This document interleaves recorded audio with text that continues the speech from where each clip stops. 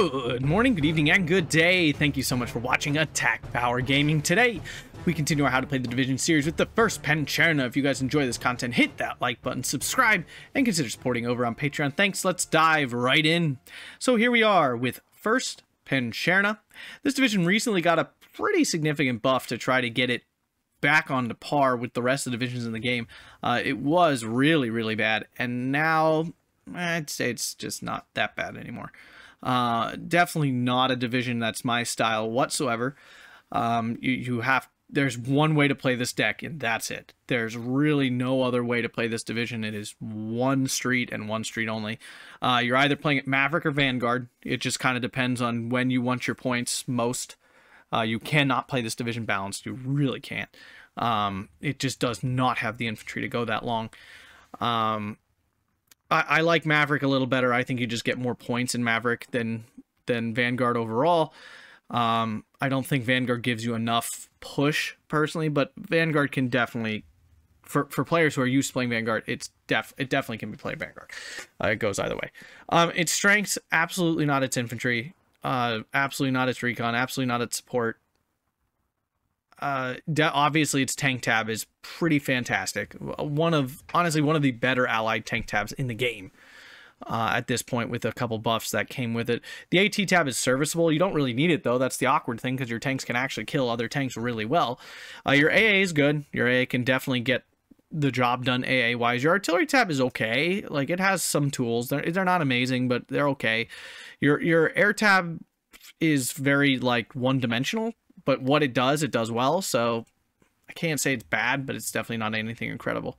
Let's dive right in here with the recon tab. You can see this is definitely one of the smallest uh, recon tabs I have basically ever built with only 42 infantry. Uh, definitely not my wheelhouse at all. Uh, you basically have your choice between the Strzelcy, which are a, a, British rifle squad for all intents and purposes. Uh, you get a Strzelcy Piat, which, and this was misbuilt. Uh, I had updated this, and for some reason it didn't like take the update. Should be that.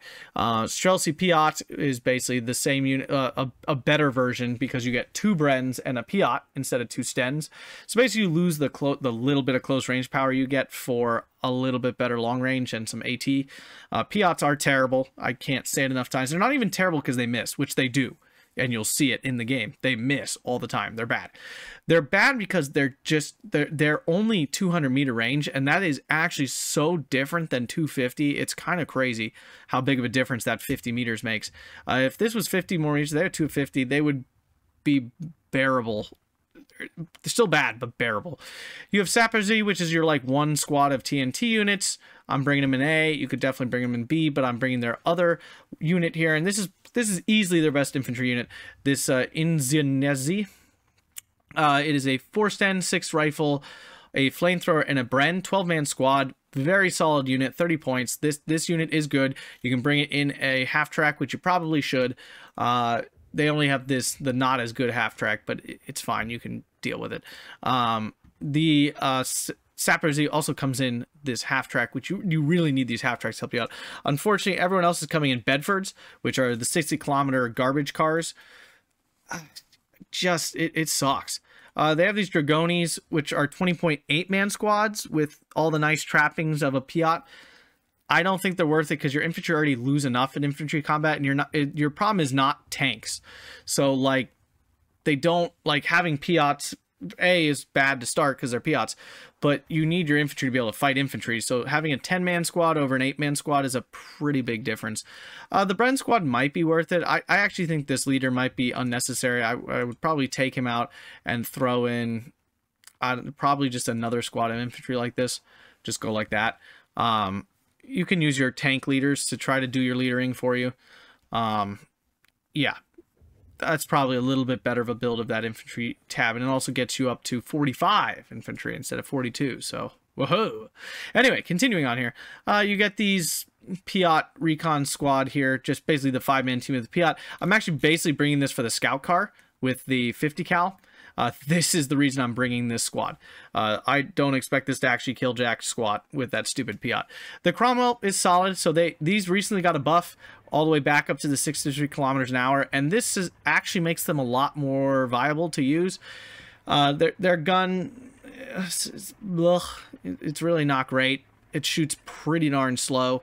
Uh, and only has 90 millimeters of penetration. Their armor is eh, but they are they do zip around pretty good now, which makes them nice to like put out fires and get around the map. So that they do a pretty good job for what they're for. You could bring the Stuarts instead of the infantry, but it is nice to have at least an infantry recon because troops are using these to fight, so they often die. Tank tab. This this this is the reason to play the deck. Like this is the reason. You have your Cromwell fives, and they are like I said, I'm double vetting them and they come in a pretty high availability now and they zip around pretty good. At eight rounds a minute, they're uh, a little less embarrassing with 56% accuracy. They do have two machine guns, so they do an okay job supporting your infantry because they at least have the double machine gun.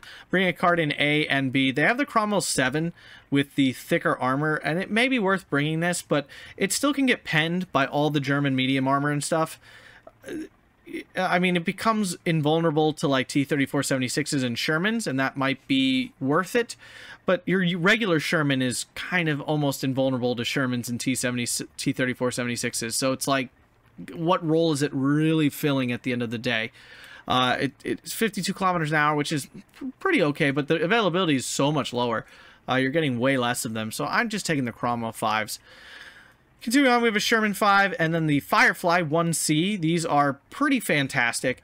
Um, you get the 17 pounder on these things, but it also has HE shells, which the usual 17 pounder does not have. Um, yeah, excellent penetration. At the double vet with the 50% accuracy, pretty darn good with 8 rounds a minute. Uh, you're not going to get a lot better on higher penetration guns. So this thing definitely capable of killing stuff. You have the Firefly 5C here, which basically just has higher armor. There's really not any other difference between them. There's 10 more millimeters of frontal armor. It's also a teeny bit slower uh, than the 1C variant, but gun-wise, they're basically the same. This is really not an infantry support Sherman. It only has one machine gun. You're using your regular Sherman 5s, which I have one card of in B here for that role. So it's nice it's nice for Western armor to actually be able to kill tanks. It is very nice. I will give it that. Um, so yeah, I actually I do enjoy this tank tab. I, I won't deny I did enjoy using this tank tab. Support tab is really sad. Uh, you get a card of Vickers, which probably should come in the Jeeps. I don't know why I had them coming in the Lloyd carriers here. Uh, Carter Vickers here. Cromwell 6, these, these are fine. I mean, they do okay. It's only 3.4 damage, but they do fire 6 rounds a minute. They have the 2,000 meter range, so these are really necessary, honestly, so you can actually take out AT guns and stuff at range. You really need these guys, and you need them early. Nice thing is you get 3 as well, not 2, so that's that's nice. Bedford, you could bring, sorry, you could bring in the 2-inch mortars, but you got to be on top of these, and these are the bad 2-inch mortars with only 540 meter range, so eh. No real reason to bring in a commander in this deck. You're moving too fast to really take advantage of a lot of veterancy. Your AT tab, it's basically 6 pounders, 17 pounders. You don't want this Piat. And the Achilles. Now, the thing with the Achilles, um, if this was your only 2K option, it would be great. It, it, does actually, it fires faster. It has 8 rounds a minute base plus 2, so you're actually firing much faster. And the armor is not actually that much worse than a Sherman. But at 95 points, I, I don't know. I just, they're kind of slow. The armor is lower, like they will get penned by everything. And you have the Fireflies in the tank tab. And while the Fireflies are more expensive, I just don't find these necessary. They're very low, very low uh, availability. Um, and I just, I don't I don't need a mobile. I don't need mobile AT when my tanks do the job. I would much prefer just have the 17 pounders, which do a little bit better of sitting back and actually defending area I grab. Anti-air, you have good options. You have this mobile 40 mil, which is a Bofors gun on a mobile platform, but the availability is much lower. So, which is why I'm not saying they have no armor, so anything can kill them. You have to be very careful with these. So I'm just taking regular Bofors 40 mils. The Crusader AA Mark IIB is actually really good. It's this is very dangerous. Problem is the availability is still really low. Unfortunately, this did not benefit from like the availability buff that the SDK of Z71s did. This should, honestly, like in my opinion, I don't know why you don't get the 2-4 curve on this uh, it really kind of sucks. The Crusader AA is fine, but when you have Bofors instead, I would just take the Bofors. But some people use these in a more aggressive way, like actually use this to like kill infantry and stuff. It's a viable use for them. It's just dangerous. Um, you know, if if this is your only AA in area, I'm not hopping on the opportunity to drive them out in the open to shoot infantry. But I've seen people do it. I've seen people who are way better than me with first penetration and use them this way.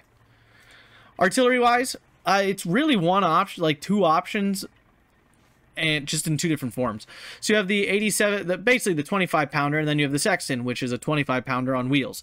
The nice thing about the Sexton is that massive ammo availability of 90 shells. So these things can be called in and they can basically sit by themselves for a very, very long time. And they really should never die because you can just move them anytime they that someone would actually try to counter battery. So these can be actually quite good. Uh, normal 25 pounders are, are solid. I mean, they're not amazing, but they're solid. They fire fast at eight rounds a minute. Uh, don't do a massive amount of damage, but they do okay. If you can get radio on them, yeah, they're really, really good. If you can't find radio with them, then they, they're underwhelming to say the least. Then you have the Sherman 5 here, which is just three machine guns on this thing. I, am not sure what the gun's even doing there. And you get the 140 millimeter off map, which is good because you get three call-ins of it. So, I mean, that is good.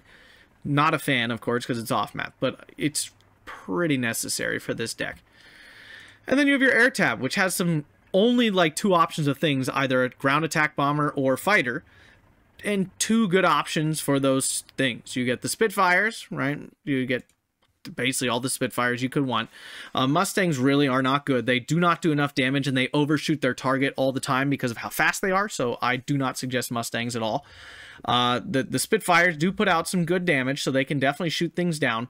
They're not amazing. They're they're quick and they have really high agility, but they will die in any sort of head-on thing. So be very careful. That's why I have two cards instead of just one.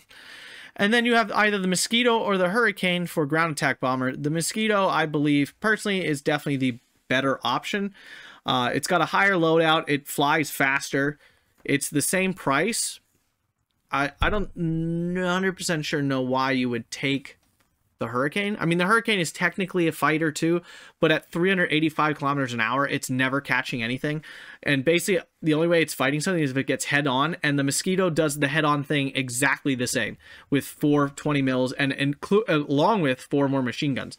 So I just don't see a reason. I mean, the availability. I, I should no, I, the availability is not even there. I don't know why you would take the Hurricane. I'm literally taking the Hurricane here because there's no more mosquitoes to take. Uh, this one has a, a, lower bomb loadout, but the curve is 1-4, and this is just 1-2. So there's not a lot of reason to take the 110 point. I mean, this will kill anything at bombs anyway. This will definitely kill anything at bombs in terms of soft targets, not tanks. Uh, this will also kill anything at bombs. I mean, uh, the bombers are really good. I'm not going to deny that. But that's all you get. There's no AT planes. There's no heavy bombers. There's no clusters. There's no anything else. This fighter, attack bomber, that's it. So yeah, that is my build of First Pancerna. I will be the first to admit this is not my kind of deck. This is not my kind of specialty. There are definitely other ways to build this deck, but I think this is a pretty solid rush version of it. You gotta push. You you attack and then you attack some more and then you attack some more. You need your Fireflies to kill their armor so that your Cromwells and your Sherman 5s can support your infantry because your infantry will lose almost every fight that they get into contact with enemy infantry, except for this in and uh, sorry, Izanirzi in the woods. This guy will do okay. The Sappers will do okay in the woods, but outside of that, your infantry will lose to basically everything. So you need your tanks to support your infantry. You need your Fireflies to kill their tanks, so your tanks, your lighter tanks can support your infantry successfully.